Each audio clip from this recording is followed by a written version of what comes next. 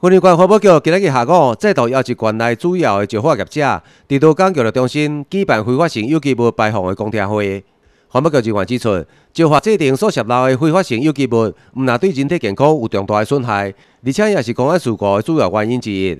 啊，因为这非法性有机物这部分吼，伊泄漏除了是咱人体致癌吼，致癌。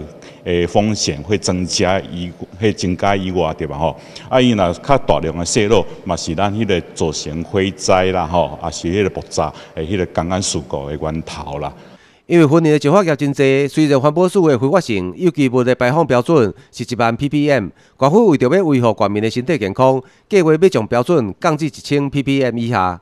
啊，咱今日咱即马是伫个咱来定的吼，咱婚姻关来来讲，咱要定的就是讲吼，咱即马伫迄个一千甲一万这个修复期间着吼，咱要来压缩吼，变做一千甲两千，吼啊一千甲两千中间对吧吼？伊诶稳准业者吼，一点钟内底来去收吼，啊若超过两千以上对吧吼？阮就要来处分啦吼。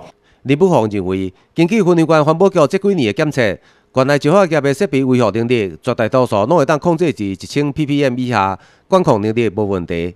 一百零二年，那肯因迄边遐所报出来来讲对吧？吼，伊即个伫迄个伊超过一千以上的比诶，迄个设备元件的比例对吧？吼，其实敢占零点三帕左右尔。啊，所以表示讲，伊有即个能力去达迄个伊的设备元件吼，伊泄漏量管理又好，降低甲真低。